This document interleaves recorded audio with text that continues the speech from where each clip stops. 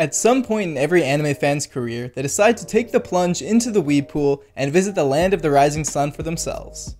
When you first start to plan your trip, it's really easy to get absolutely overwhelmed with the amount of things to see, do, and most importantly taste. So I'm here today as the resident Japan expert to share my personal experiences and help you decide what's worth your precious time and what's a waste of your dime.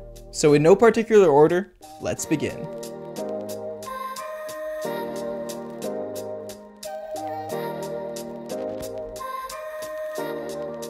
Just to give you guys a heads up, this list is a little biased to my personal opinions, which are mainly just a passionate, burning hate for waiting in line and being cramped into really tight places just to go, ooh, ah. Uh. So with that in mind, let's get to the first location. Number 5. It's Better Live. The Studio Ghibli Museum is one of the only locations that I'd recommend to anyone, no matter how much experience they have with anime. From a total expert to someone who still thinks we all live in our mom's basement wasting our lives watching Chinese cartoons. What? This isn't a basement. Look, I do get some sunlight, though it does burn a little bit. But just about anyone will be able to find some enjoyment out of this magical museum, making it by far the most important stop on your trip. If you've watched the Anime Expedition, which I highly recommend you do, you'll already know that this is one of my absolute favorite places in all of Japan. They don't allow any photography inside, but honestly I think that's for the best because this is something you definitely need to experience for yourself. The building was designed by Studio Ghibli founder Hayao Miyazaki's eldest son, Goro Miyazaki, who did a perfect job at channeling the spirit of Studio Ghibli films into every inch of the museum and the surrounding area.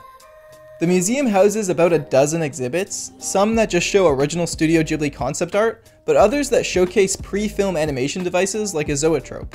Along with your entry fee to the museum, you'll receive a movie ticket made out of Ghibli film strips that grants you access to a beautiful Ghibli movie theater that screens original short films that you can't watch anywhere else.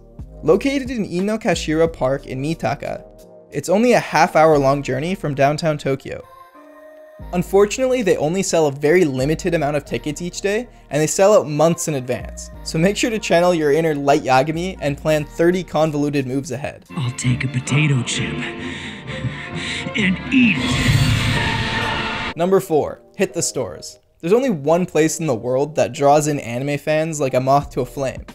Or should I say a weeb to a maid, because of course we're talking about the only city in the world that is based entirely around selling anime merch and being meowed at by cats. Okay, maybe they also sell electronics and stuff, but mostly the merchant cats. Mostly the merchant cats? Walking through the streets at night is a phantasmagorical experience, which is totally a real word and not something I had to Google just so I could describe Akihabara. You'll be absolutely bombarded with giant lights, screens, and billboards advertising anime everywhere you look, and people trying to entice you into their cafes on every corner. I recommend you learn the phrase Kiyo wa gomene neko, which roughly translates to sorry cat, not today, which you'll have to use several hundred times during your stay. If you do manage to build up enough courage to brave one of these skyscraping merch shops, you'll be greeted with endless aisles and floors of just about every piece of anime merch you could imagine. And although I'm no expert, while I was there I did have a hard time finding merch for more niche shows, so if you have something specific in mind, make sure you've got several hours blocked off to visit these heavenly stores. You may recognize Akihabara as the home to everyone's favorite gang of otakus. Otaku? Otakai. The Future Gadget Lab. So if you're a fan of Steins Gate, make sure to stop in at the anime-themed Cafe Mailish, which is modeled entirely around the May Queen Nyan Nyan from the show. Number 3. Channel your inner Kaonashi while you take a dip in the Dogo Onsen. One of the most iconic cultural experiences you can have in Japan is visiting an authentic onsen. Thanks to the countless images online, both humans and monkeys alike travel from all across the globe to submerge themselves into piping hot springs and brew some ningen cha, that's why this destination is perfect for the anime fan incognito. You can easily convince all your normie friends to come to the Dogo Onsen for its architectural beauty, relaxing baths, and historical significance, as the Dogo Onsen is said to be Japan's oldest hot springs, with a history spanning back over a thousand years. Little do they know that they just converted to weebdom and went on an anime expedition to the building that inspired Aburaya, the bathhouse in Studio Ghibli's Spirited Away. Located in Matsuyama, visiting Dogo Onsen will take you pretty far out of your way, but if there's one thing I learned from my experience in Japan, it's that the more off the beaten track you go, the more rewarding of experiences you'll have, so No matter how intimidating it might be, I highly recommend you make an effort to explore unknown areas. The entrance fee is a measly 420 yen, and shockingly they do allow people in who are of the tattooed variety, which is super rare in Japan, so you have absolutely no excuse not to add a stop at the Dogo Onsen into your next trip to Japan. Number 2. Don't just pass through, visit Ritsu. If you're a fan of Keion, the Toyosato Elementary School is an absolute must. And if you're not a fan, reflect on your decisions that made you hate joy. The majority of people traveling to Japan for the first time will visit its two most iconic cities, Tokyo and Kyoto. And by far the most convenient way to travel between these two destinations is via Shinkansen. What I recommend doing is waking up early enough to catch the first train out of Tokyo, now, I'm guessing I already lost most of you at this point who plan to spend your Tokyo nights wandering the streets with a strong zero in each hand, but don't say goodbye to Kirin just yet, because if you follow my itinerary, you'll have plenty of time to nurse your hangover on the train. Chugga chugga choose your seat wisely, because you're gonna want to sit on the right side of the train so that you get those beautiful views of Mount Fuji as you pass. Rather than riding straight through to Kyoto, ask the conductor to slow down a bit so you can tuck and roll out into the Shiga prefecture at Maibara Station to be exact. At this point, you're not in Kansas anymore, and you will notice a very severe lack of English. Stay calm, take a deep breath. Follow signs for the Omi Tetsudo line, where you'll find a very nice old man selling tickets. The pricing depends on how far you're going, so make sure you practice saying Toyosato so you don't sound as dumb as I do. Once on the train, hold on to your ticket because you'll have to hand it to the conductor as you get off. Make sure not to miss your stop, like I may or may not have, because this train only runs in one direction at a time, so by the time it swings back around, you'd have been better off walking.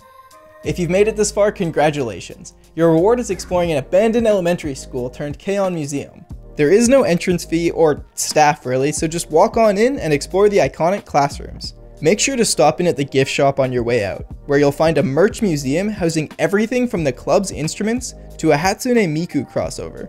The reason I recommend stopping in at Toyosato on your way to Kyoto rather than making it a day trip is because it saves you a couple hours train ride from Kyoto there and back that you could otherwise be spending exploring Japan. Number 1. Grab a hot curry bun at the Gundam Cafe in Odaiba. This area has a little something for everyone, and also a big something for everyone because you'd have to be a real Grinch not to appreciate a giant robot that lights up and plays music as it transforms.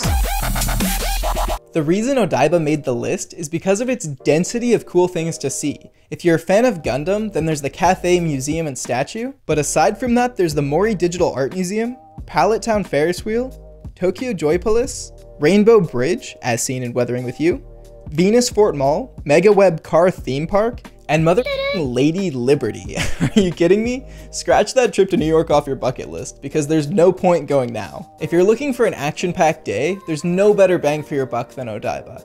And while you're in the area, why not finish your day off like Oregairu did at the Kasai Rinkai Park? A beautiful and free space to check out some fish, ride a little train, and watch the sunset. And now for some honorable mentions. These didn't make the list either because I'm just not a fan of the anime, or as I mentioned before, I'm really not much of an UR or an R, but hey, I don't discriminate, so if you feel so inclined, why not visit Otome Road, Nakano Broadway, Captain Tsubasa Town, J-World Tokyo, the Pokemon Center, One Piece Tower, or if you're a fan of anime's know-it-all older cousin, there's the Kyoto International Manga Museum. Thank you so much for watching. If there's anything I missed, please let me know in the comments because I'd love to find some new places to visit on my next trip to Japan. And if you enjoyed the video, please don't forget to like, subscribe, ooh, ah, hug your wife, hug your waifu, whatever you want, I don't judge.